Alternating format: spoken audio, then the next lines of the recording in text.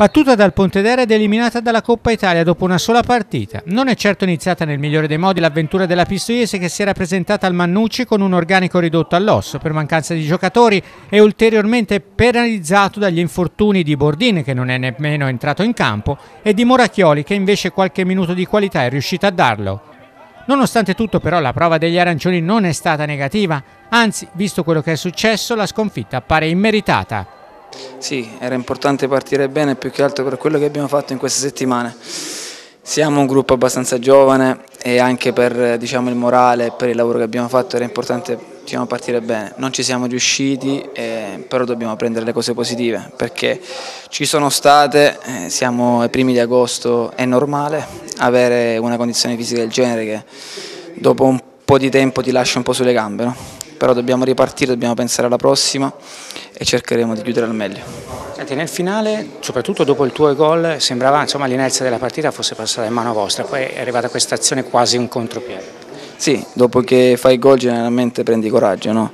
era quello che era successo, anche se ripeto, eravamo veramente sulle gambe, come loro. Eh? Poi in un contropiede sono stati bravi a fare gol e quindi secondo me lì la partita è finita perché veramente c'erano poche forze per andare avanti.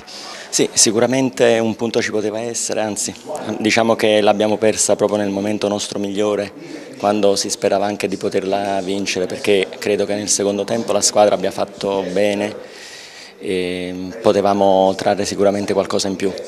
Cosa è mancato a parte qualche giocatore? Il fatto che manchino un po' di calciatori ancora per completare la rosa non ci ha permesso di cercare di tenere il livello tecnico come quando giochiamo con eh, tra virgolette titolari.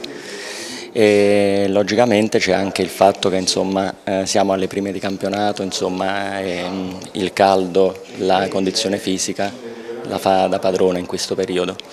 Però sono, fin quando insomma, eh, siamo stati in partita prima di subire il secondo gol, penso che la squadra si sia comportata bene. È stato un test valido, valido contro un avversario del nostro campionato che ha giocatori importanti, che ha giocatori di esperienza, eh, che gioca bene, che ha un'idea di gioco anche eh, importante, perciò è un test che ci consente di fare un passo in avanti dal punto di vista della condizione, e poi insomma è venuto fuori il risultato della vittoria, è più importante diciamo, per il morale dei ragazzi, però in questa fase ecco, contano più altre cose, è chiaro l'infortunio Caponi è molto più grave, no? è, è, molto più importante di una vittoria, quindi insomma ci sono cose più importanti in questo momento qui. Ecco.